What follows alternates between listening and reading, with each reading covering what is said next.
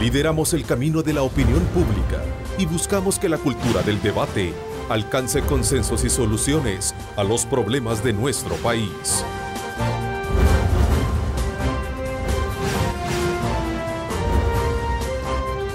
Diálogo con Ernesto López.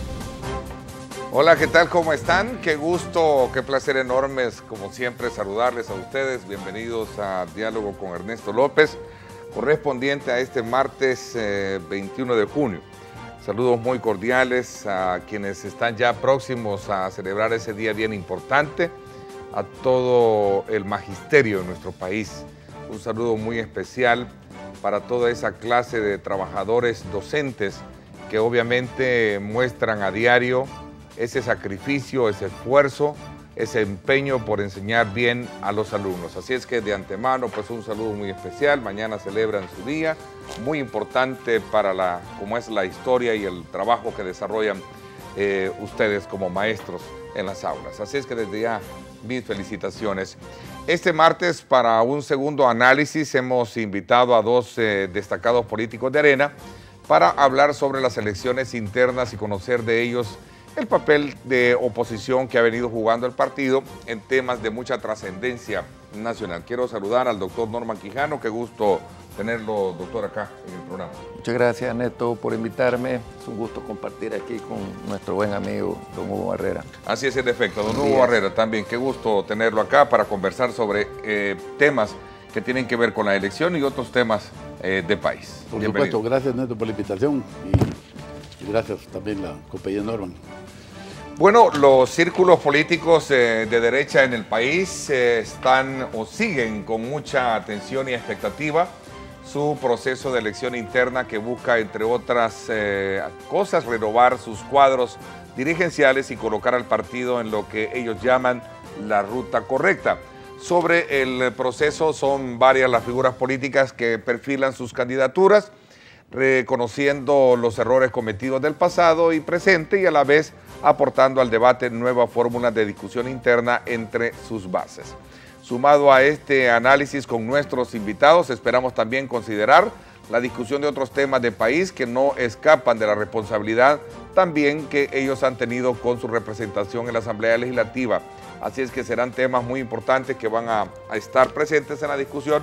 Voy a trasladarme como siempre con Lorena Melara para que nos dé detalles alrededor de lo que vamos a discutir con nuestros invitados a lo largo de esta hora y media. Así es que Lorena, bienvenida nuevamente. Gracias Ernesto, buenos días para ti y tus invitados. Como ya lo mencionabas, los gastos en los órganos de Estado han generado diversas críticas, sobre todo tomando en cuenta que el Fondo Monetario Internacional le recomendó al país un ajuste en las finanzas de unos 200 millones de dólares. Veamos.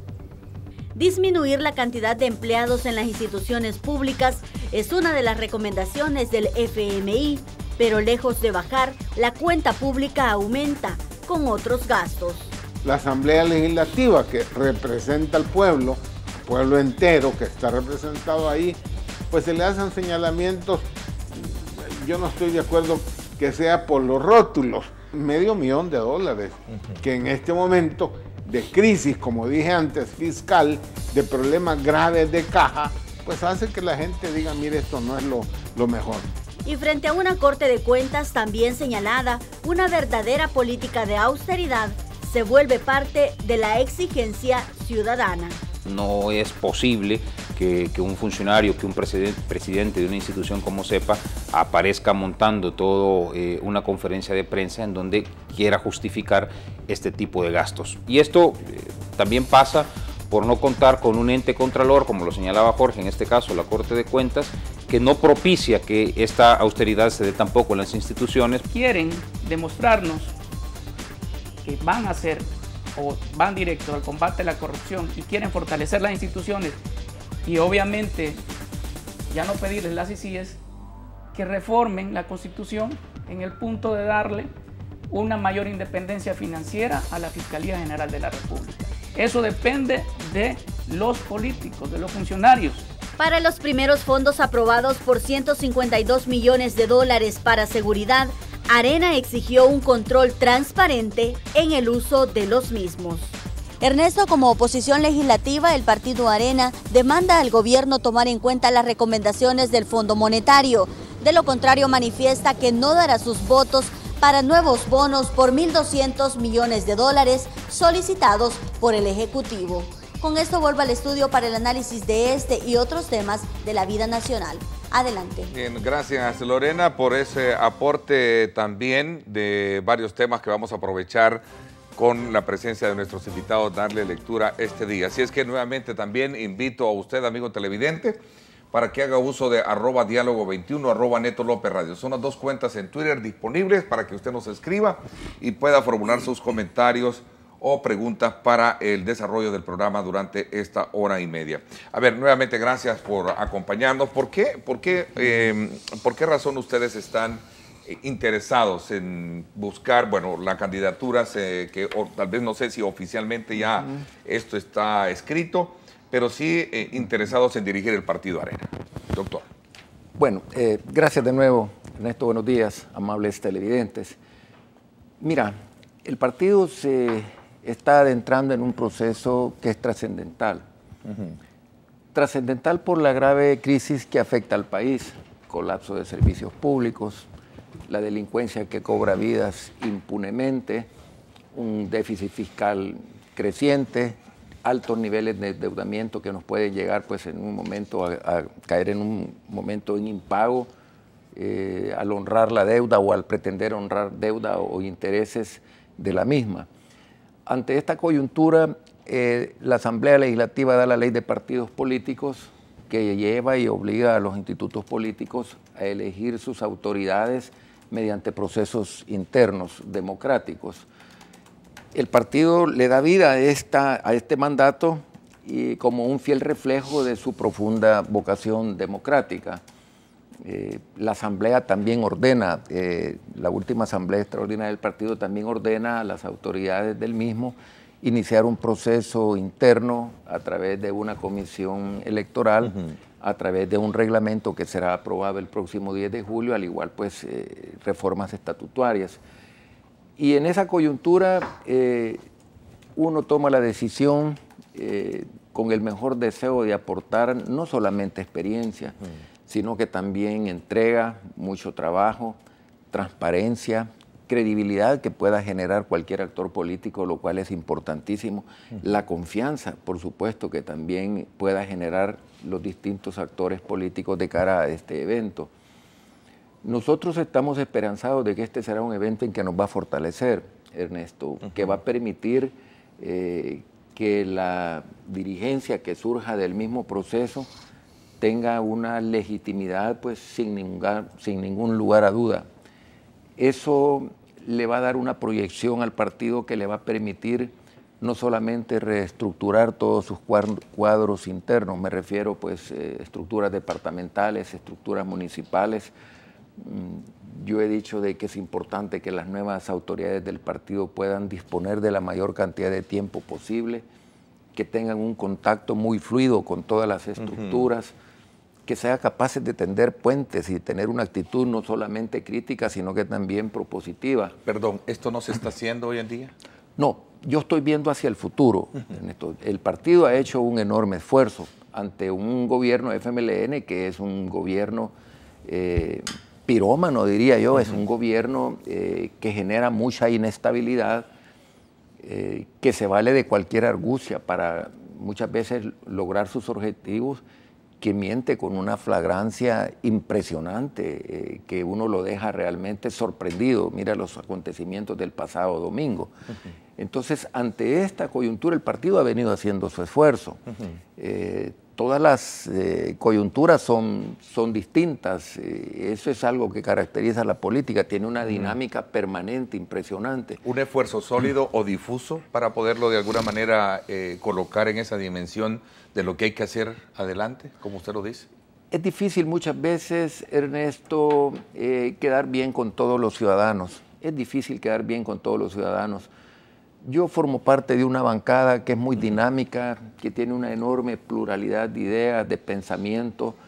Es una combinación, diría yo, eh, muy sabia que dio el, el elector haciendo una combinación de, veteranía o de experiencia con mucha juventud, con una enorme capacidad. Eh, el partido abrió sus puertas para que ese proceso de modernización y de renovación de sus dirigentes se diera desde el mismo momento que se eligieron las candidaturas, sobre todo para diputados, ¿verdad? Porque ahí sí hubo un proceso de, competencia interno. y, y, eso ha dado una bancada legislativa que el FMLN trata de desprestigiar, trata de hacer creer que estamos divididos, pues yo jamás esperaría que el FMLN nos dé un margen de, ganancia en unas circunstancias como la que estamos viviendo. Pero yo sí mantengo mucha confianza, en, sobre todo a nivel de la bancada legislativa, que cada vez que tenemos que discutir a fondo los temas de interés nacional, siempre terminamos eh, construyendo entre todos un consenso que nos permite mantener esa unidad que es importante y lo cual no la ves en ningún otro partido, lo ves en arena.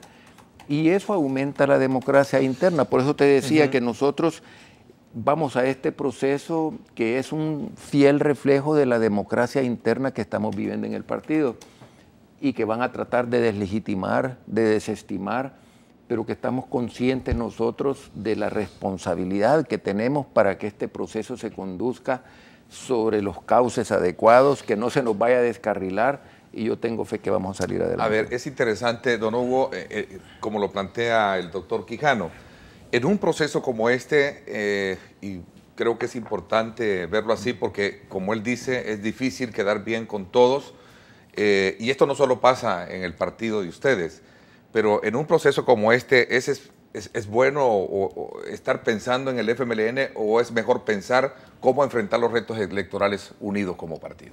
Bueno, gracias Neto. En este momento, si lo vamos por orden prioritario, lo que se nos viene encima es las nuevas autoridades del partido, ¿no? Que es una cosa completamente diferente a lo que había sucedido anteriormente, porque va a haber un reglamento de cómo elegir a los miembros del COENA. Y esto eh, obliga naturalmente a darle bastante, bastante atención a esta primera etapa, ¿no? Para lograr que el cambio de las autoridades de cúpula del partido, pues eh, sea lo que se va a necesitar, como bien lo dijo Norman, de aquí hacia adelante, el futuro, ¿no? Eso por una parte, esa es la prioridad. Eh, lógicamente no podemos descuidar las otras cosas que están sucediendo, especialmente la bancada nuestra, que tiene que estar haciendo su papel de oposición como, como debe de ser realmente, y, el partido mismo también, ¿no? O sea que todas las cosas son importantes, pero sí, para, por lo menos para nosotros hay un, hay un, hay un, hay un área prioritaria que es hacer el esfuerzo más grande posible para poder entrar a la dirigencia del partido, pero... Eh, cualquiera podría decir, bueno, pero si eh, yo por lo menos he estado en el COENA, pero eh, renuncié en septiembre. Pero la idea es incorporarse para ver si tomamos un camino que sea el conveniente en este preciso momento en donde tenemos una situación en donde cada día más se mira el, las intenciones o, o, las muestras claras de autoritarismo del FMLN, que eso es totalmente perjudicial para el sistema democrático. Es lo que mencionaba Norman. lo que es un referente, entonces lo están viendo como un referente y no como un punto de partida para arreglar sus cosas internas. las dos cosas. Tenemos que resolver las cosas internas, lógicamente, pero no podemos descuidarnos del, del resto de los acontecimientos que están dando. Se mencionaba, por ejemplo, lo que sucedió el domingo en, el, en la Plaza Salvador del Mundo, en donde de, la manera más, yo digo que, que, que violenta, ilegal, irrespetuosa, autoritaria, desordenada, como le quieran llamar, un grupo de gente del frente que no son de iniciativa propia, sino que mandados definitivamente por la cúpula del frente, fueron a, lastimar, incluso a golpear a miembros de la sociedad civil que estaban con autorización de la alcaldía municipal. Eh, eh, eh, autorizados para usar ese espacio. Signos de intolerancia política. Sí, total, eso, eso es, gravísimo porque si esas cosas están sucediendo. Al menos así ha sido calificado, ¿no? Sí, no, es, que, es que es así, es, que es, así, naturalmente. Entonces, por eso digo, esas cosas son las que tenemos que, cortar por completo, ¿verdad? Y para eso se necesita definitivamente que nosotros como partido de oposición en este momento hagamos lo que realmente se debe de hacer. Eso que sucedió el domingo, por ejemplo, debió haber sido una cosa no solamente criticada públicamente, sino que debería de ponerse las denuncias o las demandas en donde fuera pertinente para ver cómo estas situaciones se terminan por parte del frente, ¿verdad? Entonces... Me dice que Arena, o me acepta entonces que Arena no está jugando ese papel de defensa de la democracia, si lo queremos ver desde ese punto de vista de agresión, como usted lo califica. Si nos referimos a este no sé si estarán haciendo algo en este momento, ¿verdad? Pero ya también ya, ya, ya se pasaron algunos días, ahí tiene que haber una reacción eh, bastante rápida, dinámica, inmediata para que esas cosas no sucedan. Como partido político que estamos obligados a hacer, porque eso es defender los derechos que están establecidos en nuestra constitución, ¿no?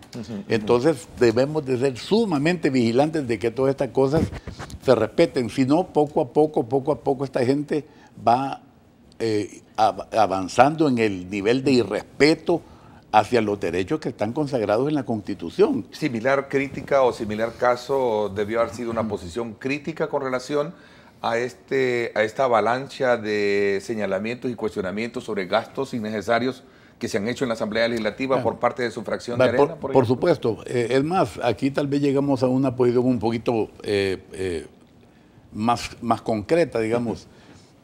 por ejemplo, los 152 millones que se aprobaron Realmente creo que no se debieron haber aprobado, por lo menos en mi punto de vista, mientras no se cumpliera con todos los con todas las cosas que se han firmado por parte del gobierno anterior y de este gobierno del frente que se iban a cumplir en relación a, mecanismos de carácter fiscal ordenado que no se han hecho. Entonces, mientras eso no se cumpla, ¿cómo se va a seguir autorizando más, eh, más préstamos, digamos, en esa forma? ¿no?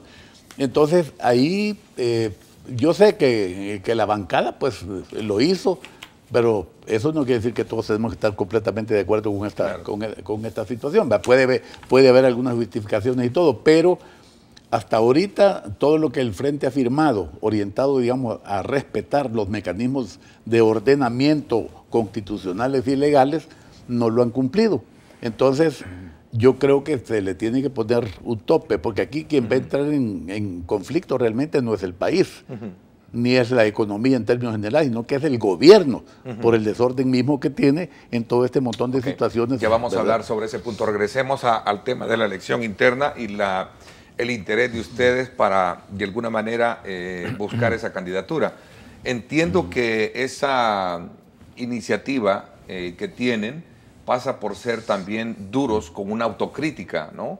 Es decir, de cómo se han estado manejando las, las cosas. Tuve la oportunidad de conversar con Mauricio Interiano y él hacía énfasis precisamente de los tres aspectos elementales que Arena ha perdido. Primero, su propia unidad, eh, fijar posiciones eh, muy contundentes a la hora de de jugar ese papel de oposición y el otro elemento que pasa también por dejar de lado lo que es el interés muy particular para poder defender el interés eh, general. Bueno, eh, obviamente que el partido tiene que hacer un enorme esfuerzo por recuperar los niveles de confianza. Yo siempre he dicho que esa es la materia prima que necesitamos nosotros los funcionarios públicos para el ejercicio del, poder. Eh, para desempeñarnos con toda la legitimidad que la misma da. Eh, que el partido necesita también eh, recuperar eh, esa cercanía. Cuando se dice que hay que volver a la arena anterior, se refiere precisamente a esa lucha tradicional que el partido tiene desde sus orígenes en la defensa de los valores democráticos que no son otros que la libertad de expresión, que la libertad de tránsito y todas esas libertades que como las disfrutamos, eh, muchas veces no percibimos cuando estamos en riesgo de perderlas. Yo retomo de nuevo el caso del domingo, que tuve oportunidad de ver ayer un debate en una, otro canal de televisión, y yo creo de que eh, el mensaje debe de ser contundente. Cuando hay un partido que lanza sus esbirros para coartar derechos inalienables que están consagrados en nuestra Constitución, están transgrediendo la democracia en una forma flagrante. Esto no es la primera vez que lo hace el FMLN. Te quiero decir que ahí están eh, imitando a sus, eh, a sus paisanos de viaje, los señores eh, del gobierno del señor Maduro en Venezuela eso lo vimos que lo hicieron en el mes de octubre, en una convocatoria que tuvieron los mismos señores de sociedad civil y ojalá no se vaya a interpretar esto como que nosotros estamos eh, detrás de un movimiento de esta naturaleza. Hay muchos movimientos que tienen un estado de desafección con nosotros, los actores políticos, y eso es legítimo en una democracia. Yo diría que es consustancial en una democracia el disenso eh, la desafección, el, desinterés que incluso muchos ciudadanos lo expresan eh, por participar en acciones de tipo político porque no se sienten representados por nosotros los actores políticos.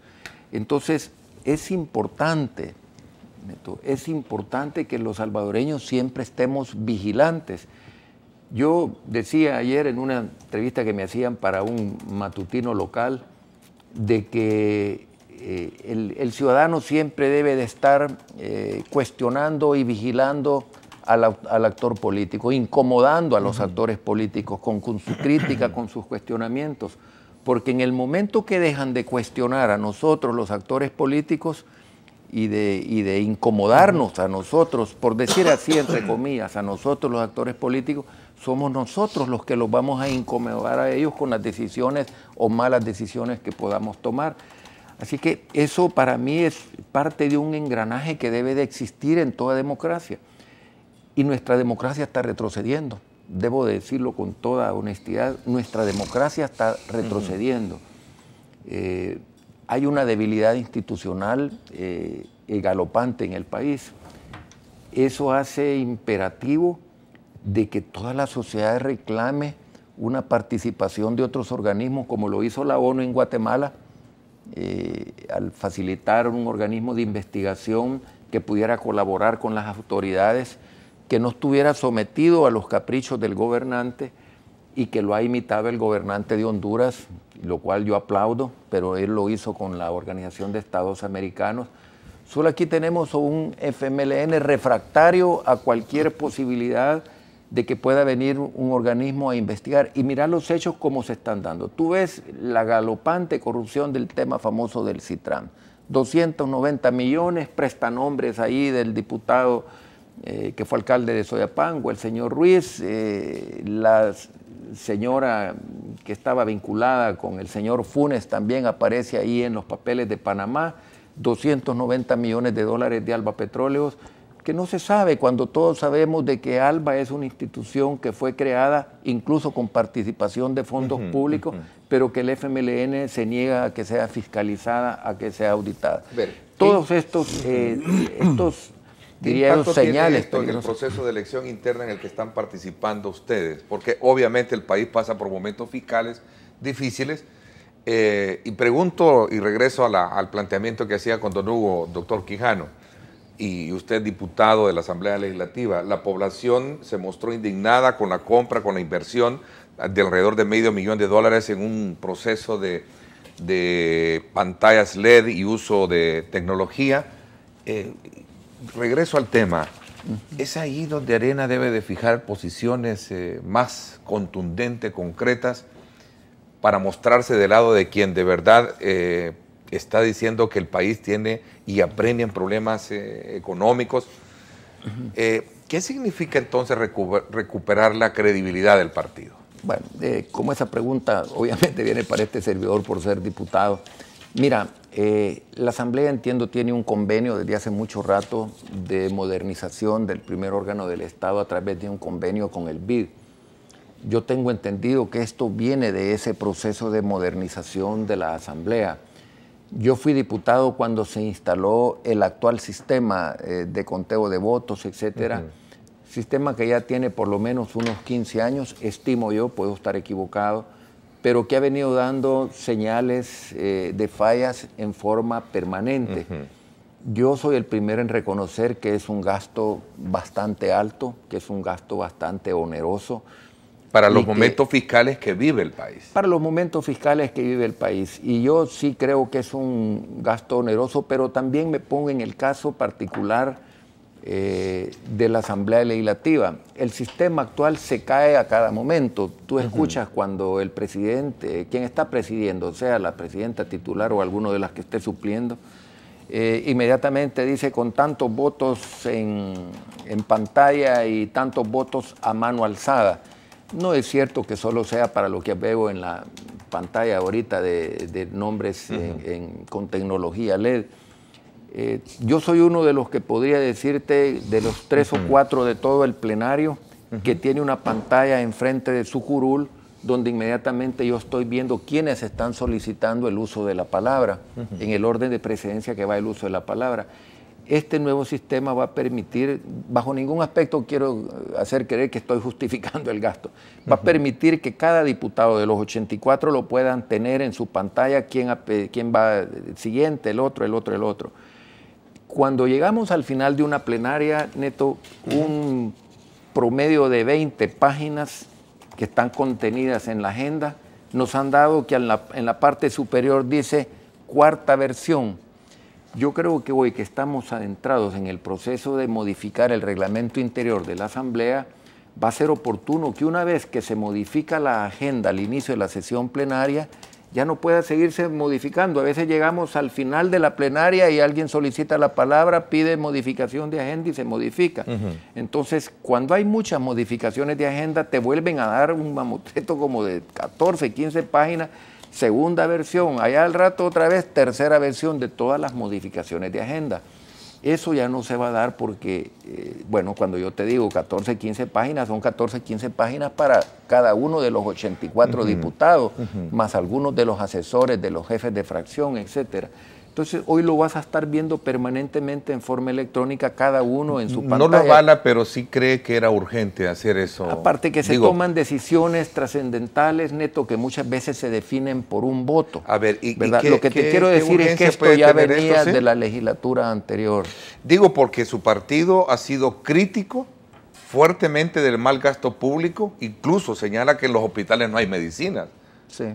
No, yo te he dado una explicación eh, que no es una manera de justificación, para que el ciudadano entienda qué es lo que llevó a que se ratificara esa decisión. Te repito, yo considero que esto venía desde la legislatura anterior dentro de ese convenio de modernización. El, el, sistema había caído en una obsolescencia de que a cada momento se interrumpía la sesión plenaria, y eso dan fe los amigos, tus colegas periodistas que visitan el primer órgano del Estado, a cada momento el sistema se caía y decía, vamos a esperar unos 8 o 10 minutos para corregir las, eh, las fallas del sistema.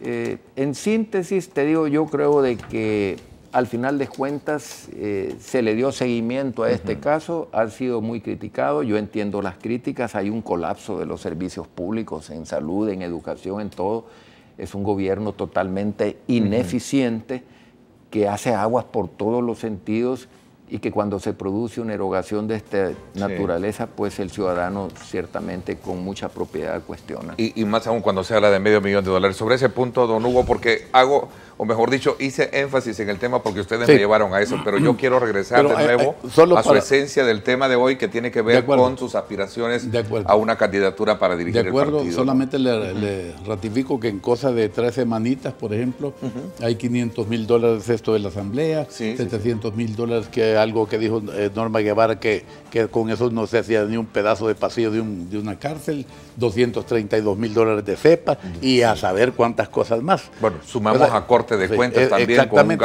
es, una cosa grave, que no, tiene, no son solo 500 mil pesos. Por un lado, por el otro, mire, en este tema de, esos 500 mil dólares, realmente si lo ponemos desde el punto de vista eh, niveles de importancia, a mí, a mí me preocupa muchísimo más, y eso como partido tenemos que dar una lucha intensísima, son las declaraciones desde el presidente en el sentido que hay que eh, eliminar las, los artículos pétreos de la Constitución, por ejemplo, que eso sí es bien delicado. Y esto sí va a tener mucho que ver con qué es lo que va a pasar en la dirigencia del partido. Yo insisto, nosotros debemos de hacer un esfuerzo bien grande porque hasta este momento ha ido pasando un gran montón de cosas que nuestro partido las, las ha soslayado, digamos, no, no, no ha hecho el énfasis que debe de ser esto nos lleva a la conclusión, que no lo digo yo, lo dijo según usted acaba de relatar, Mauricio Interiano también, y en eso tal vez estamos de acuerdo, de que realmente el nivel de oposición del partido en este momento ha dejado mucho que desear, y eso por qué lo vamos a ocultar. Entonces, esas son las cosas que hay que perdón, que hay que corregir para efectos de, de lograr que las cosas comiencen a caminar dentro de lo que establece la Constitución y las leyes del país. ¿Qué se ha hecho mal entonces, si lo queremos ver desde ese punto de vista, como usted bien lo reconoce? Es decir, para poder de alguna manera enmendar las cosas hay que ser autocríticos. ¿Qué es lo que se ha hecho mal y qué es lo que se puede hacer mejor?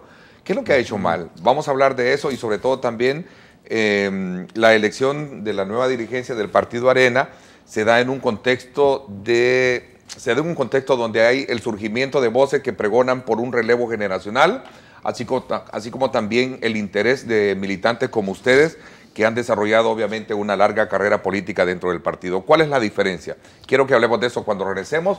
Gracias por estar con nosotros. Recuerde nuestro reprise 8 de la noche, muy temprano, por Canal 19. No se lo pierda.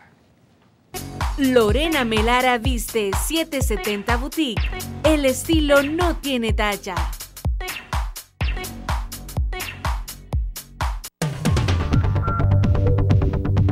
Yo que son gastos innecesarios usted, ¿verdad? Es más, todos los diputados deberían de rebajar el, el, salario como en Alemania y en otros países europeos, la mitad se lo, cuando ven que los países están en problemas.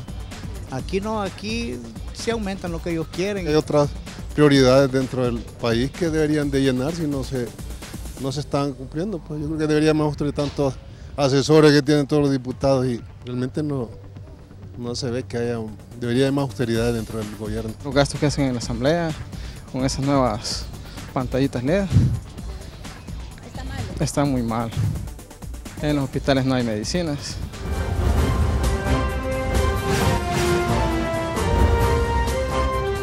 Diálogo con Ernesto López.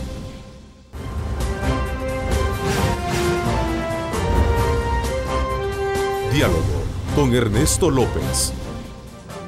Bueno, gracias nuevamente por estar con nosotros. Antes de comenzar eh, esta segunda etapa del análisis pertinente sobre el tema de la elección interna en Arena y las candidaturas, quiero recordarles que todos los salvadoreños están disfrutando el exquisito sabor de pollo campestre. Pruébelo hoy en cualquiera de sus restaurantes, pollo campestre orgullosamente hecho en El Salvador. Ya les desperté el hambre, ¿verdad? Sí. ¿Sí? Sí, Ah, bueno. de aquí nos vamos. Sí, al pollo campestre. Gracias nuevamente, don Hugo Barrera y el doctor Norman Quijano con nosotros este día, hablando sobre el proceso de elección interna en Arena y también las aspiraciones que tienen ellos para correr por una candidatura. Hacía la reflexión sobre el tema de la autocrítica. Yo creo que es importante partir de ello. De hecho, les voy a presentar acá unas declaraciones así textuales que el eh, otro de los aspirantes a la presidencia, que es Mauricio Interiano, hacía en, en mi programa. Hemos cometido, y decía precisamente eh, textualmente esto, hemos cometido errores como partido, como individuos y como políticos, y tenemos que aceptarlos. A ver, ¿qué piensan ustedes, doctor? Bueno, mira, yo creo que está en, toda la razón Mauricio. Eh, ciertamente el partido le da a uno el privilegio de poder no solamente competir, sino que servirle a la ciudadanía, servirle a la- al país a través del ejercicio en un cargo público. Y no siempre los funcionarios actúan con responsabilidad. No siempre los funcionarios tienen el desempeño más calificado, podría decir.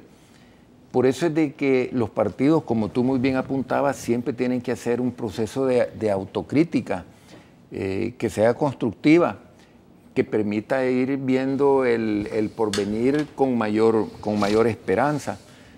Yo creo que el partido, eh, en la coyuntura que está, tiene esa enorme responsabilidad. Y por eso es que nosotros hemos decidido participar en este proceso.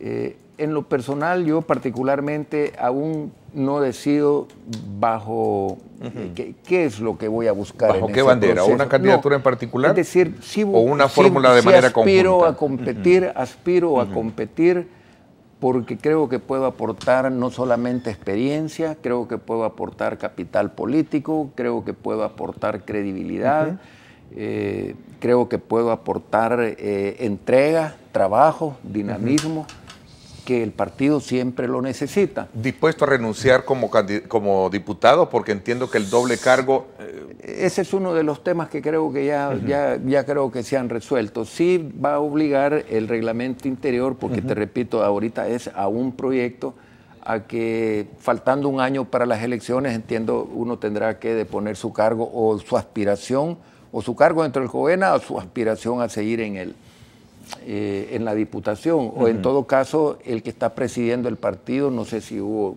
tiene mayor conocimiento, o quien está dentro de la dirigencia del partido, no puede aspirar a una candidatura presidencial, tengo entendido yo que Sí, por, hay- por ahí va en la el cosa. estatuto hay unas regulaciones de ese.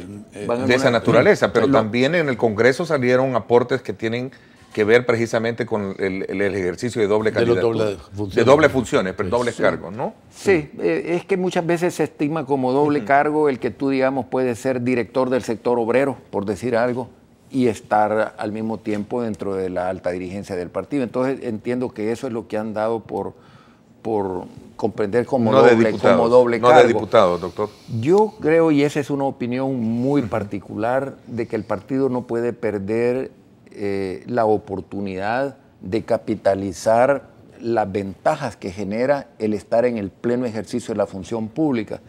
Yo sigo mucho y siempre lo pongo como un ejemplo, la televisión española a través de la política de España, veo el Movimiento Ciudadano, Podemos, el PP, el PSOE, etcétera. Y yo veo que los altos dirigentes de ese partido, de todos esos partidos, están en el ejercicio de cargos públicos. Y yo veía eso porque tuve la experiencia de ser durante 15 años diputado de mi partido y ahí estaba toda la alta dirigencia del partido que ahora nos desgobierna. ¿Y qué es lo que sucedió? Lo que sucedía permanentemente. Pues ahí estaba Chafik, ahí estaba eh, el, profesor Sánchez Serén, ahí estaban todos ellos y la toma de decisiones en política es dinámica, Ernesto. Tienes que estar de to- tomando decisiones permanentemente, a cada minuto, en modificaciones de agenda. Y cuando nosotros nos encontrábamos en esa situación, hay que hablar con el presidente del partido y el presidente del partido o no estaba en San Salvador, estaba inaccesible o a lo mejor estaba fuera del país. Y empezábamos aquellos en aquella Sí, dinámica que, que teníamos que tomar una decisión en la Asamblea Legislativa tal vez a las 11 de la noche. A las Un 12 de vínculo noche. comunicacional más directo sería Entonces, el- yo creo la de ventaja que- de tener ese doble cargo, diputado. Yo creo que y es, dirigente. es- yo creo que es beneficioso. Sigo considerando que es beneficioso. Eh, ¿Cuáles son los verdaderos liderazgos de un partido político? No son los liderazgos que surgen muchas veces eh, de dedo, son los liderazgos que se conquistan en el terreno, trabajando a la par de los ciudadanos. Eh, O el, o el liderazgo que con- construís también como dirigente político. Sobre Hugo ese- ha construido un liderazgo durante A ver. 25, 30 años, porque ha sido una persona muy cercana a los ciudadanos. También ha estado en el desempeño de cargo. bueno, Hugo fue diputado constituyente, con eso te digo todo. todo.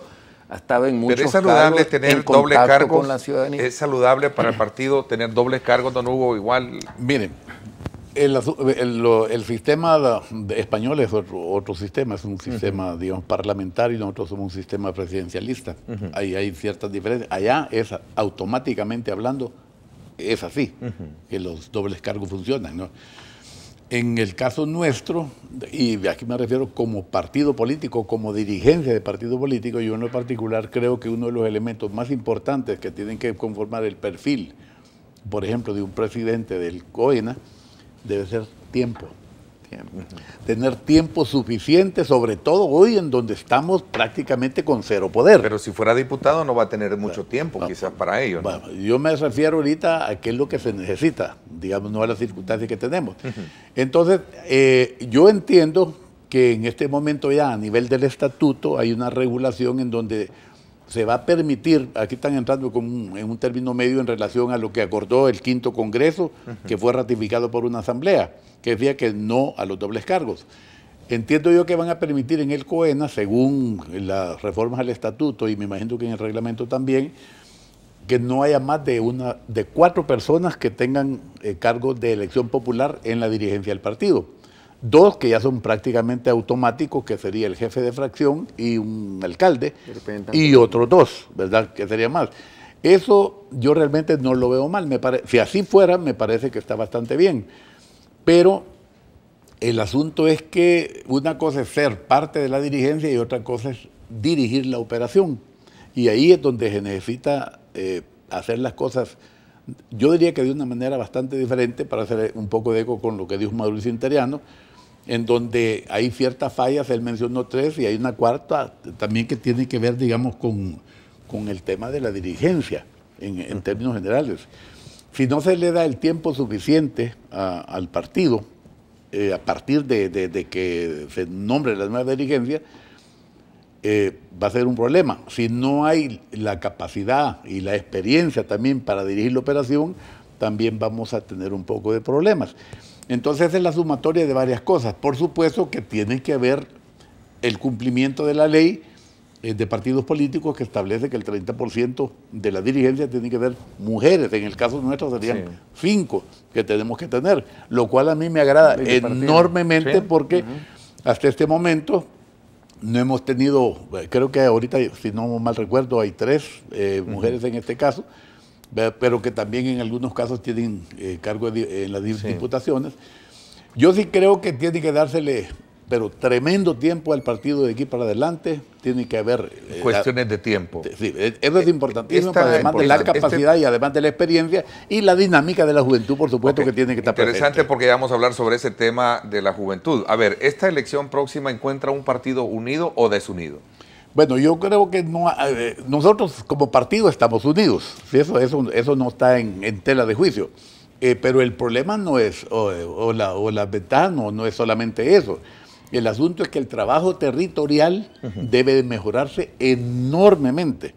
Desde el caserío, desde la comunidad, desde el barrio, de la colonia, el cantón, al municipio, etcétera. Ahí es donde tenemos que hacer un súper esfuerzo para que esa organización esté lista para las elecciones de 2018 y 2019. Doctor Quijano, ¿esto pasa por traer aquellas eh, figuras políticas que se han ido del Partido Arena? El partido tiene que hacer ese esfuerzo, Ernesto, de aglutinar a todos los sectores de la vida nacional. Eh, alianza Republicana Nacionalista es eso, una alianza de sectores, pero tiene que actuar en una sinergia que vaya en beneficio del país. Y aquellos elementos eh, que decidieron retirarse, eh, que decidieron retirarse porque discrepaban con algunas decisiones que se tomaban, yo creo que es el- la coyuntura que vive el país demanda que todos hagamos un esfuerzo de, de- de unidad. Uno de ellos Yo era el expresidente Antonio Saca, doctor. bueno, ahí estamos hablando de otra cosa totalmente distinta. El, el presidente Saca realmente, yo creo que dejó cerradas las puertas del partido. que fue expulsado. ¿Verdad? Y fue, y fue expulsado. Yo estoy hablando del que se, se ha retirado en forma eh, voluntaria porque no estaba muy de acuerdo con las Ujú. políticas que se impulsaban. Eh, te repito, yo no creo, nunca voy a aceptar que Arena sea un partido que está dividido. Lo que tiene Arena es una en- en- enorme riqueza de opiniones, de criterios que antes no se expresaban abiertamente y que ahora sí se expresan abiertamente. Eh, yo ya quisiera ver al FMLN que le permitiera a su militancia el disenso. En FMLN el, el que critica es expulsado del partido, es purgado, dicen ellos, del partido. Claro, yo tampoco espero que nuestros adversarios del FMLN vean algo positivo en lo que nosotros estamos haciendo del partido. Por eso yo desde el principio apuntaba que este es un momento trascendental en la vida del partido, cuando el país atraviesa una de las peores crisis desde de su historia, desde la firma de los acuerdos de paz. Hay una inacción total del gobierno. El Fondo Monetario recomienda eh, eh, una serie de medidas, incluso llegaron a hablar hasta de aumentar el IVA, no estoy abogando yo por eso, ni tampoco estoy pidiendo de Es que, que se, no es que se- necesario. que se, que se cumplan todas las recomendaciones, pero también al presidente de la República se le dieron una serie de recomendaciones allá en el, eh, primero al señor Funes en el 98 y después al presidente Sánchez Serén un acuerdo de sostenibilidad fiscal que permitiera no solamente estabilizar la economía, que permitiera el crecimiento también económico, sino que también eh, que se congelaran plazas entre las medidas de austeridad eh, y contratación de bienes y servicios hasta por un 5%. Eh, se le pidió que se alcanzara un acuerdo de stand-by con el Fondo Monetario Internacional, se habló de una ley de responsabilidad fiscal, nunca se hizo. Entonces te digo, la coyuntura del país es crítica, la coyuntura del país es crítica. Y el partido, en medio de esa profunda crisis de país, vive un proceso interno inédito. que todos los que queremos este país y también amamos y queremos a nuestro partido, estamos conscientes de la responsabilidad que eso implica y estamos en el esfuerzo de que esto salgamos lejos de pensar que vamos a salir debilitados, yo soy un optimista que vamos a salir fortalecidos. ¿Confía plenamente en el proceso como se está llevando a cabo para elegir las nuevas autoridades? Mira, yo puedo discrepar en algunas cosas, Por Ernesto, pero yo creo de que el momento, bueno, hubiéramos querido quizás más tiempo para el proceso de, las, de elección, pero ese fue el mandato de la Asamblea que dijeron, dieron ocho meses. A mí me pareció que era mucho. Dieron ocho meses. Le faltó la palabra hasta. ¿verdad? Dieron ocho meses, Ocho meses. y estamos dentro del plazo. Entonces, yo tampoco puedo estar versando una decisión de la Asamblea. Estamos dentro del plazo, que lo que va a quedar para el proceso de, de- de- de campaña eh, interno va a ser muy poco, pues hombre, esas son las reglas del juego y el que quiera participar que las acepte. O- yo aspiro a participar. ¿Y usted eh, comparte las declaraciones que hace su homólogo aspirante a la presidencia, Mauricio Interiano, de que el partido ha perdido credibilidad? Sí, yo no me quiero arrogar esa expresión, pero fue quizás de los primeros en usar que el partido necesitaba recuperar credibilidad. Credibilidad. Eh, ¿Y eso tener pasa por más qué, doctor? audacia. Eso, eso pasa Bueno, porque... eh, Bueno, mira, el partido no debe dejar jamás de tutelar a sus funcionarios, no solamente para vigilar su desempeño, sino que también el partido debe de estar atento eh, a asesorarlos. Mira, entramos en el proceso de consejos municipales plurales, a mí me constan los problemas, yo nunca los viví porque cuando fui alcalde de San Salvador no habían consejos plurales, pero sí he escuchado, y no voy a dar nombres de municipalidades, de colegas alcaldes que me han dicho lo difícil que les es trabajar con una oposición sistemática, sobre todo de concejales del FMLN. Entonces, hay que estar cerca de ellos, hay que asesorar a los alcaldes. Eh, cuando escuchas el clamor popular que te dice que algo está mal en una administración municipal que sea de nuestro partido, pues debemos de estar vigilantes. Yo decía, y, y lo he expresado hasta la saciedad, de que el partido es como el vehículo donde todos vamos, ¿verdad? Donde nos subimos para aspirar a un cargo de elección popular, a un cargo público. Pero que ya una vez que estamos en ese vehículo, es la conducta personal de cada funcionario apegado a la ética, que esté trabajando respetando las leyes, lo que hace, el- el- es decir, eh, la conducta personal es muy aparte de las decisiones institucionales que toma un partido. Yo soy un 100% con que jamás nuestro partido va a darle una línea a un alcalde que actúe al margen de la ley o que haga tal tipo de negociación. Jamás el partido da una línea en ese sentido. El partido es la institución. Ahora, cuando alguien lo hace, tiene que asumir esos costos, tiene que asumir esas responsabilidades y el partido, repito, siempre debe de estar tutelando. Siempre debe de estar tutelando porque es la imagen del partido, la credibilidad la que se empieza a erosionar. Y de funcionarios y miembros de la estructura también. que se empieza a erosionar la imagen del partido porque el ciudadano, el FMLN ha tratado de sacarle beneficio a esto. No obstante, ellos firmaron una tregua que favoreció a las pandillas, han insistido como parte de un discurso de ellos de vincular a nuestro partido con las maras, totalmente alejado de la verdad. Todos los que pertenecemos a este partido nos sentimos orgullosos de pertenecer a Para él. usted ningún Y impacto sabemos- en lo particular tuvo ese video que circuló de la declaración de Ernesto Mason y Ruano precisamente en ese entorno del tema de tregua.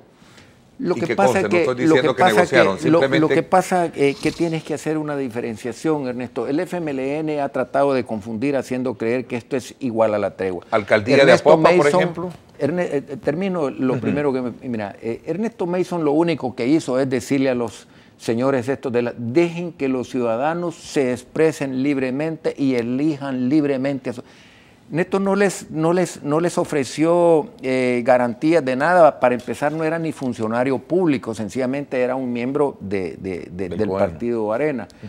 Ahora, el otro caso que me, que, que- Apopa. que me preguntas, el caso de Apopa, yo creo de que el partido debe de estar siempre vigilante a que al alcalde de Apopa se le respeten las garantías procesales.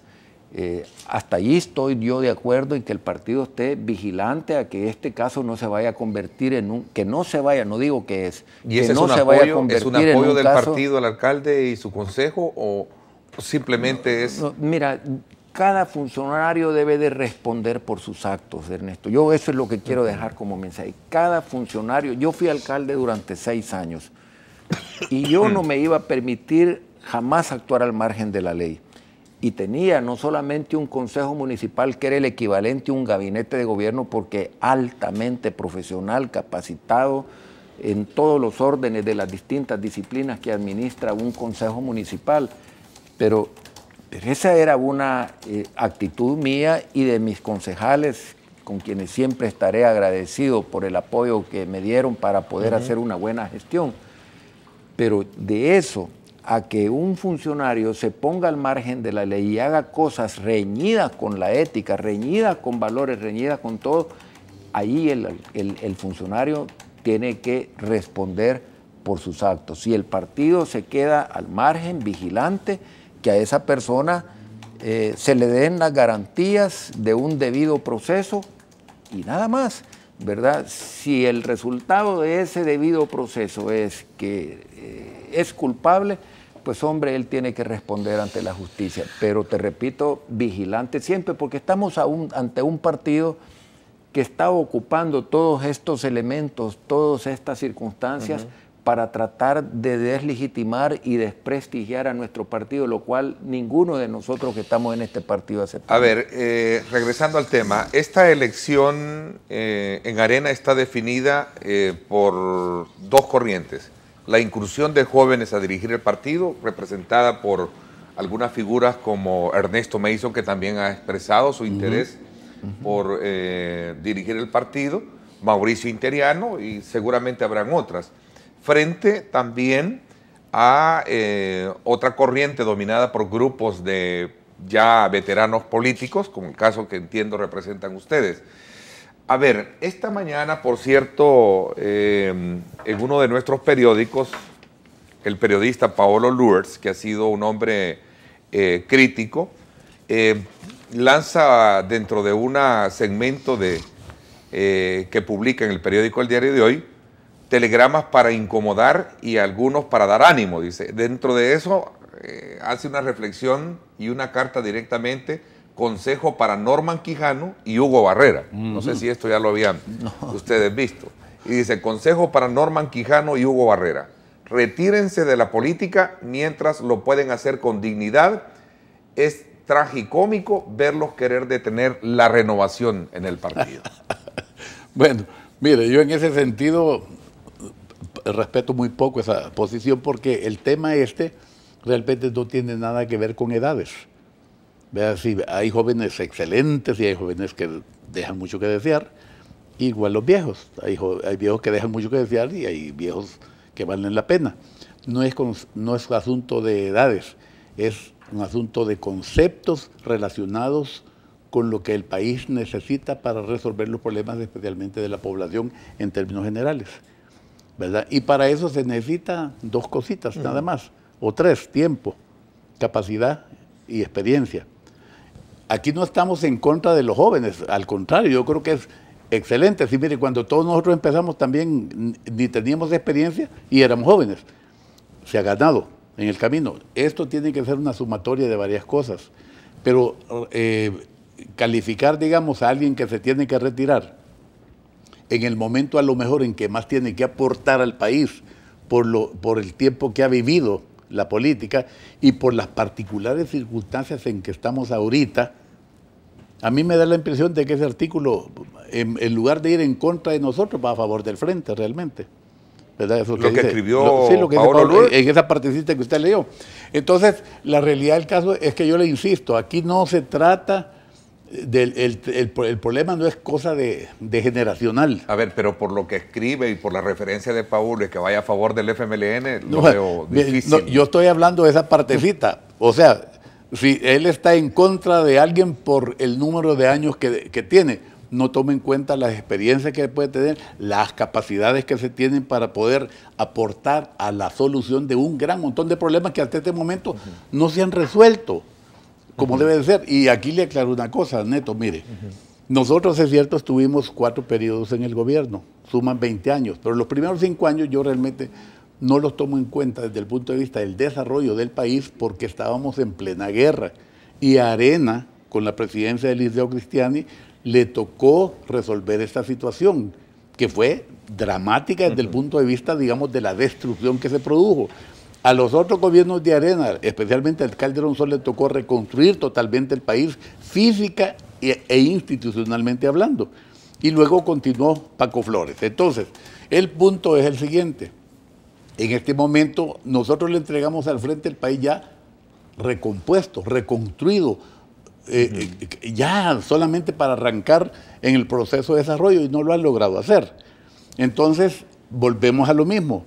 Se necesita un equipo de gente integrado entre gente joven, dinámica y entre gente con experiencia también en este tipo de cosas, que se pueda planificar lo que El Salvador necesita para entrar en el proceso y en el camino del desarrollo. Por eso es la intención de participar. Así que, doctor Quijano, ¿qué piensa usted sobre esta recomendación hecha por porque al final también al interior del partido es lo que se maneja, ¿no? Hay dos corrientes. Sí, mira, yo lo tomo como de donde viene.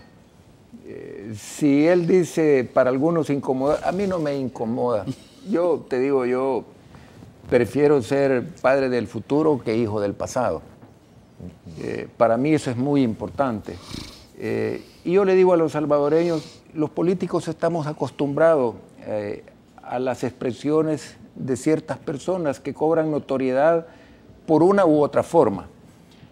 En este caso particular yo lo que pienso que es que aunque el país atraviese la profunda crisis en la que estamos inmersos, los que tenemos el verdadero deseo de sacar adelante el país, sabemos que aunque hayan nubarrones negros, siempre cae agua limpia, pura y fecundante. Y yo tengo esperanza en el porvenir para mi partido y mi país. Igualmente. Ahora, eh, dentro de la, digamos, eh, visión que llevan ustedes dentro del partido, hay un elemento que, por cierto, lo conversaba con eh, Mauricio Interiano, y que era precisamente sobre el tema de grupos de poder. Arena representa los intereses de qué grupo, de los eh, particulares o de grupos colectivos, porque ese es un punto que ha venido discutiéndose a lo largo de los muchos años, que Arena dejó de representar aquellos sectores que verdaderamente tenían eh, y que se han alejado o están desprotegidos. No, mira, yo ¿Qué piensan ustedes al respecto? Voy a hacer una pausa comercial, hablamos de esto, porque seguramente si ustedes resultan eh, dirigentes del partido van a tener que enfrentar, no sé si es un fantasma, como hablaba, eh, utilizando esa figura, esos grupos de poder al interior del partido, o es que no existen. Voy a la pausa comercial, no me cambie, regresamos. Así como está el país, podemos estar en bancarrota con la economía y haciendo estos gastos, estos funcionarios, estamos mal. Como la población votó por ellos, Hoy no hay de otra, pues. Que inviertan bien en el dinero que están gastando. Yo lo veo mal.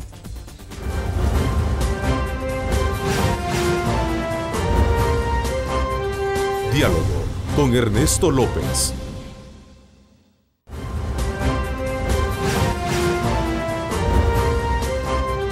Diálogo con Ernesto López. Bueno, gracias nuevamente por estar con nosotros. A ver, eh, ¿qué representación podría considerarse tienen ustedes cuando hablamos de aspiraciones para dirigir el Partido Arena y más aún cuando se cree que dentro del partido existen fuertes grupos de poder que hegemonizan eh, la posición del partido? Bueno, mire, primero quiero aclararle una cosa. El partido hasta ahorita no ha estado en manos de la gente mayor realmente ha estado en manos de gente joven. Si usted mira el COEN actualmente, mayoritariamente hablando de gente bastante joven. Si usted mira los presidentes de Arena, han sido presidentes de 38, 39 años. Saca, Flores, Armando Calderón tal vez un poquito mayor, pero Freddy también era un hombre joven cuando entró a la presidencia, ¿no? Entonces, eh, no Antonio es. Antonio también, don Antonio. Sí, también, pero vaya Toño tal vez ya, siente un poquito mayor, pero, pero en, conceptos generales la dirigencia del partido ha estado integrada por gente bastante, bastante joven y mayoritariamente hablando gente joven en, en la estructura del partido, en las dirigencias del partido me refiero. Eso por un lado. O sea que no es que en este momento se va a dar una, una sustitución de carácter generacional. Si, si, así fuera, entraríamos los viejos a dirigir el partido porque ha estado en manos de gente joven. Jorge Velado incluso no es un hombre viejo, es un hombre joven y tiene por lo menos 6, 7, 8 años de estar ahí en el partido. O sea que cuando entró era 8 años más joven, por lo menos. Entonces, no es cierto que el partido ha estado en manos de generaciones ya eh, bastante mayores, sino que al contrario, al contrario, incluso la presidenta de la República. O sea, ¿qué querrán decir con el relevo generacional entonces? Me imagino que esa es una imagen que se está manejando para tal vez hay algunos intereses particulares de que entre alguien a formar parte de la dirigencia. Pero bueno, reconoce que hay intereses eh, particulares en sí, esta no hay país ni partido en donde no existan intereses de grupos. Esa es la acepta entonces que sí hay grupos de poder Por supuesto, aquí y en la China, ¿verdad? Eh, eso es una cosa normal. Pero el punto es que eh, esos grupos, si bien es cierto que existen, deben de estar, el partido es el que debe de tomar las decisiones y las decisiones tienen que estar orientadas a resolver los problemas graves de carácter económico, social, que existen en las grandes mayorías de la población, especialmente en países como El Salvador, que no están ni siquiera en vías de desarrollo. Y aquí podemos hablar de los obreros, podemos hablar del magisterio, podemos hablar del campesinado, etcétera. Toda esa gente necesita apoyo, necesita ayuda y políticas que les ayuden a elevar sus niveles de vida. Y de ser así, ¿cómo de resultar ustedes eh, dirigentes, cómo enfrentarían esos grupos de poder, usted particularmente? O sea, para todo eso tenemos que tener mecanismos concertados de cómo se debe de resolver. Y le voy a decir una cosa, aquí es donde viene la parte importantísima de la estructuración del partido, que lo mencionó Norman hace un rato. Nosotros somos una alianza de todos los sectores productivos del país convertidos en partido político para defender un sistema. Pero aquí nosotros tenemos que tener un representante del campesinado en el COENA, según dicen nuestros estatutos, un representante del sector obrero, de la mujer. ¿Lo hay? ¿Perdón? ¿Lo hay hoy en Lo ha habido, en este momento no, pero lo ha habido, y el estatuto así lo manda. Entonces ahí hay una, una falla bastante significativa porque aquí El Salvador no es ni de una sola clase y el partido está estructurado en base a sectores productivos del país y eso es como se tiene que manejar. Entonces, ¿por qué? Porque cada una de estas personas, desde adentro del partido o desde la asamblea, en donde también tiene que haber ese tipo de representación, ¿por qué no podemos tener un, representante campesino como diputado, por ejemplo? Nosotros lo tuvimos al principio, si usted se recuerda, René Barrios Amaya, que era sindicalista, fue miembro del COENA y diputado constituyente que lo asesinó frente a sus hijos del frente, en su casa. Arnoldo Paul, que era un muchacho de Usulután, jovencito, que era el representante de la juventud en el COENA, fue asesinado por el frente también ahí por, por el monumento que le llaman de la Chulona. O sea, nosotros hemos tenido en los mejores momentos del partido esa representación y eso es lo que nosotros necesitamos y debemos recuperar para que la representatividad de todos los sectores realmente tenga la oportunidad de hacer lo que su sector necesita. Entonces, por supuesto que, eh, mire qué es lo que pasó aquí, por ejemplo, con el tema de la reforma agraria. Se acabó por completo la productividad agrícola que teníamos, el empresariado agrícola que teníamos. Han pasado tantos años después de eso que los empresarios agrícolas de aquel momento o ya están muy ancianos o ya se murieron. Entonces eso hay que reconstruirlo. Hasta este momento no se ha podido y ahorita estamos importando hasta las cosas más elementales. ¿Fue un error entonces, eh, un mea culpa o un error de, porque el desmontaje no, mea culpa, no, pues, nosotros no tuvimos nada que ver en eso. El desmontaje de todo el aparato agrícola comienza a partir de las políticas que obviamente administró Arena, ¿no? ¿no? acuérdese que eso fue una medida, entre comillas, contrainsurgente que tomaron los miembros de la Fuerza Armada que Comienza en ese momento de la manejaban políticamente el país. y después lo avalaron todos los demás de mentalidad de izquierda, pero al final y al cabo se pasearon en toda la cosa porque ahorita El Salvador no produce prácticamente nada, ni siquiera maíz, hay que importarlo ahorita todo. Entonces esas son las cosas que, que en algunos momentos se deberían de recomponer. Y le voy a poner un ejemplo. La banca también la nacionalizaron.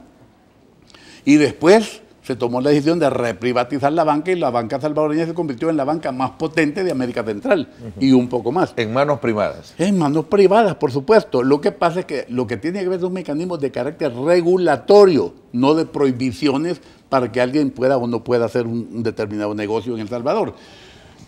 Tanto derecho tiene un empresario de tener utilidades como tanto derecho tiene un trabajador de tener un salario digno. Hombre. Esa es la parte que hay que buscar un mecanismo equilibrado que nos permita que este sistema funcione mucho mejor de lo que ha funcionado hasta este momento. Entonces, por, por eso le digo yo que la realidad del caso, ¿qué es lo que hay que hacer en El Salvador? Primero hay que tomar en, eh, en cuenta a todos los que de una u otra manera son productivos en el país. Y eso, es, eh, y eso es gracias a que nosotros tenemos la alianza de todos los sectores productivos. Doctor Quijano, ¿habrán ungidos en este proceso? Yo pensaría que no, Ernesto. Yo creo que todos vamos a entrar a él con la aspiración legítima de alcanzar un escaño, un espacio dentro de la alta dirigencia del partido, eh, en una mesa que todos estamos convencidos que tiene que ser nivelada y que, cuya responsabilidad ciertamente recae en la actual dirigencia del partido. Hay que confiar en la dirigencia del partido, que son los que van a administrar el proceso. A ver, eh, este proceso eh, pasa porque el próximo 10 de julio el reglamento sea aprobado, ¿no? Así es. Y de ahí luego Y la reforma de estatuto también. Y la reforma del Estatuto, estatuto. Eh, Vuelvo a la pregunta. ¿Confían ustedes en el proceso? Mire, yo quisiera confiar absolutamente en el proceso. Tengo mis dudas, definitivamente. ¿Pero por qué? Porque no conozco todavía ni las reformas del estatuto ni eh, la estructura del reglamento. ¿Y tienen derecho ustedes como aspirantes a una candidatura? Porque entiendo que son aspirantes a una candidatura. No se han oficializado todavía la No, candidatura. no, no se puede porque no se conoce el reglamento. ¿Verdad? Entonces, entendemos que va a ser necesario presentar una planilla completa. Si eso va a ser así, pues tenemos que armar la planilla.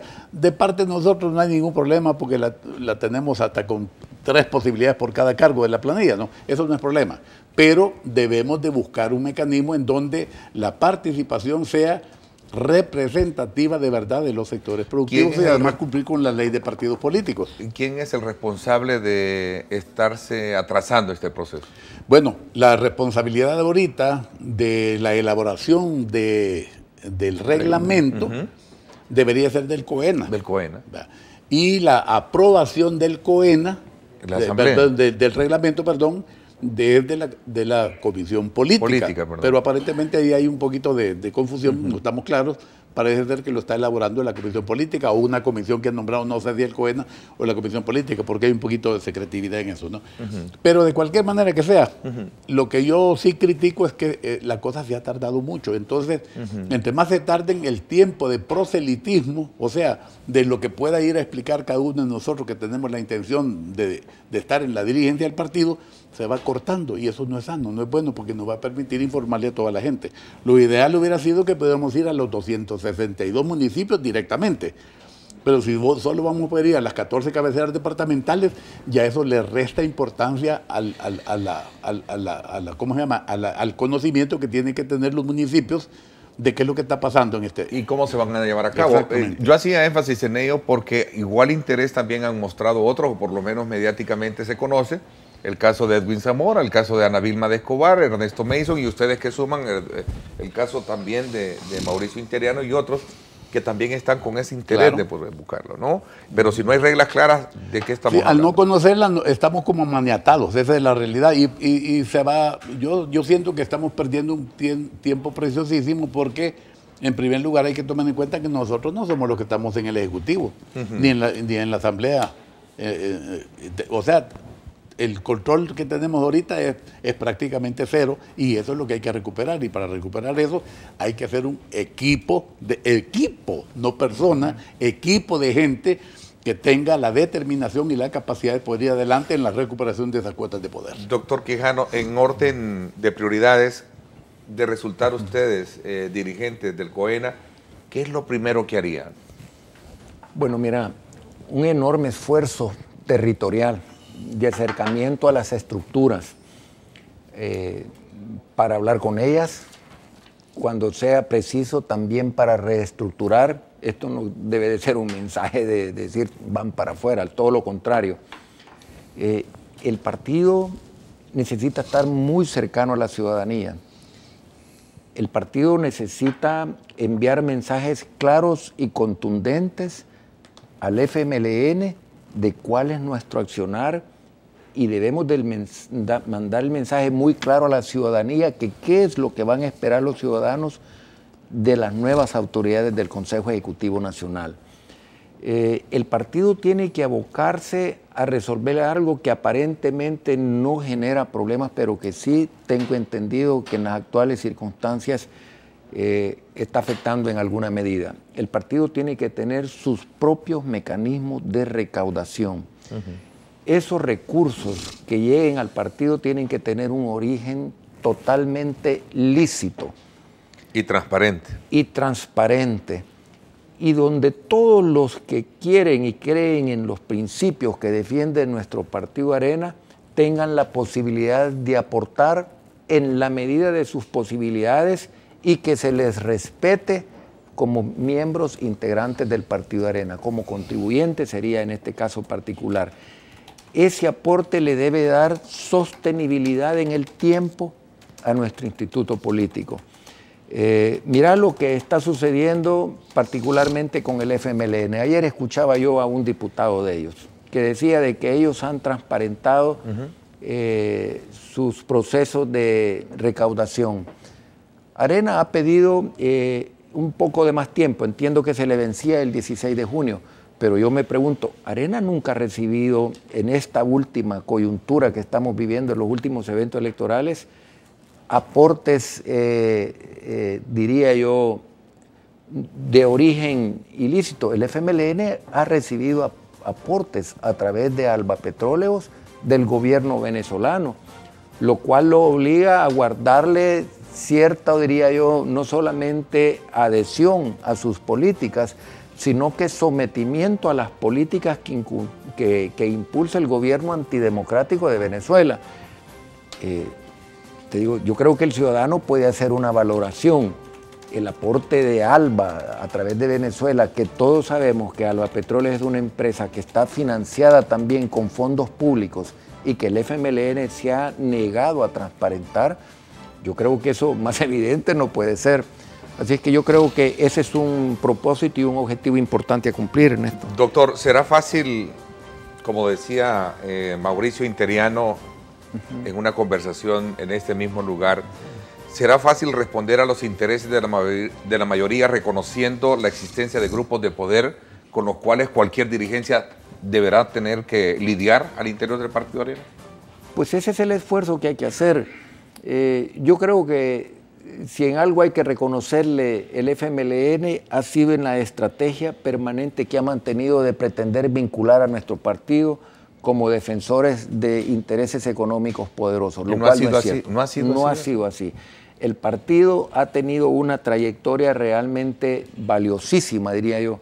El partido fue capaz de liderar el más largo proceso de estabilidad eh, económica y crecimiento democrático durante 20 años que pudimos administrar la cosa pública en el país. Entonces yo creo que el partido ha tenido importantes logros en materia social que no hay tiempo para poderlos enumerar, pero el, país sería un país totalmente distinto si no hubiera habido la posibilidad de que nuestro partido administrara la cosa pública. Eh, avances en conectividad, no solamente en materia de infraestructura vial, sino que también en materia de telecomunicaciones, eh, indicadores sociales mejorados, eh, erradicación de algunos flagelos en materia de salud que siempre golpearon sobre todo a la, a la, población más humilde, que es la que necesita accesar a los servicios públicos de salud. Y lo que hemos visto entre los 20 años de administración de Arena y lo que hemos alcanzado a ver en siete años de administración del FMLN, pues hombre, yo creo que hay una diferencia enorme. Ok, voy a la última pausa comercial. El país está a las puertas de recibir a dirigentes y partidos políticos de izquierda para desarrollar el Foro Sao Paulo. La opinión de ustedes alrededor del tema. Vamos a la pausa y regresamos.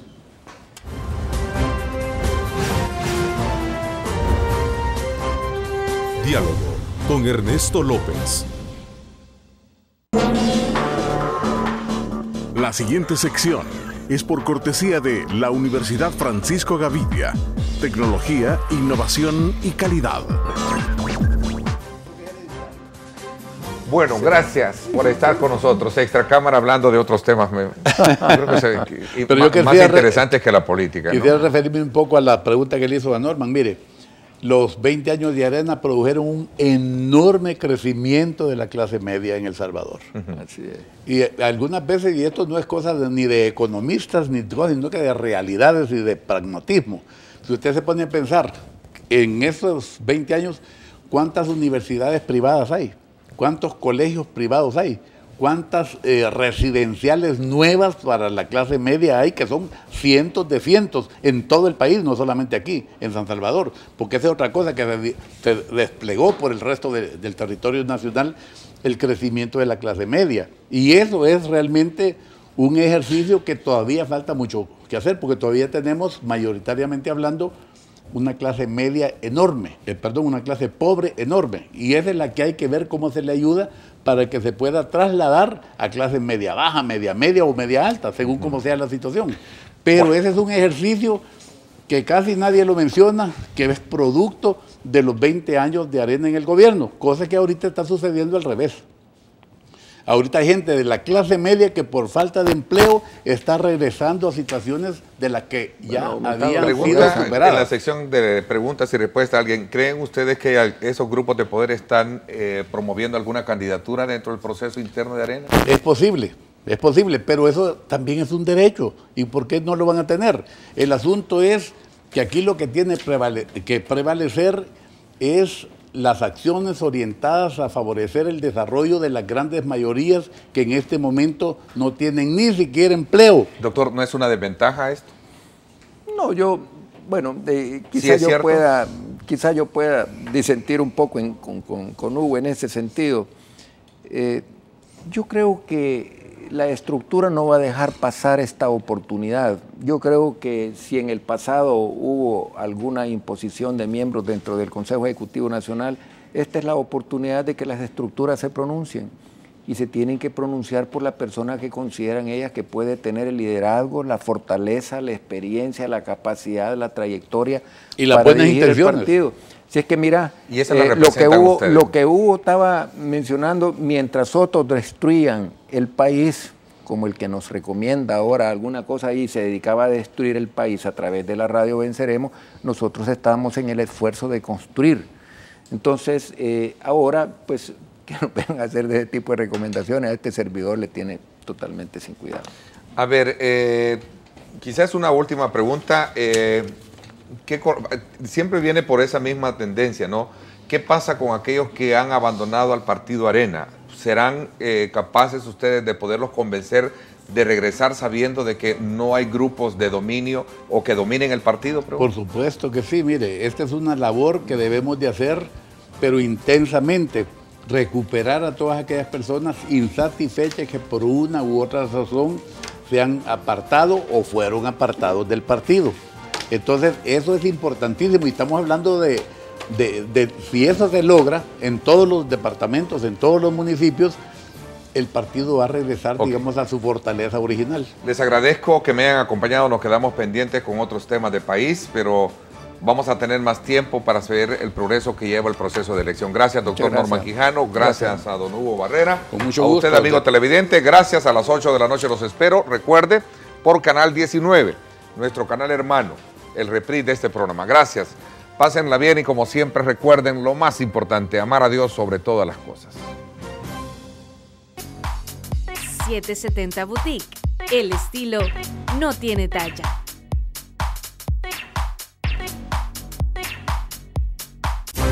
Lideramos el camino de la opinión pública y buscamos que la cultura del debate alcance consensos y soluciones a los problemas de nuestro país.